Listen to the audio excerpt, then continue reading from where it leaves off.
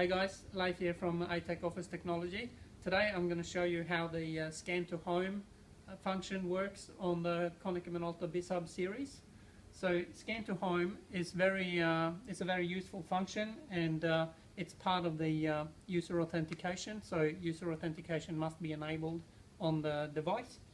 So if you have a look over here now, this is the uh, login screen for the device.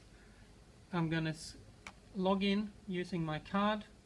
So, and um, the scan to home function basically gives you a dynamically updated option. So whoever is logged in to the device will have a scan to me button right up there as the first entry in the address book. And I can confirm that with uh, uh, Peter here is the person that logged in and uh, with scan to home the both the from address as well as this one is uh, the me is updated to um, to be the person logged in.